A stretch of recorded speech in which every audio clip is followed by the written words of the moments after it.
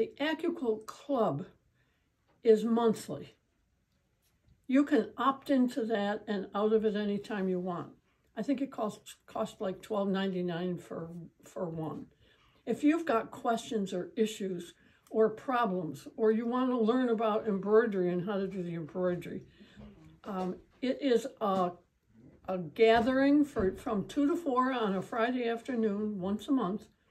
And I do demos. Sometimes I do a PowerPoint.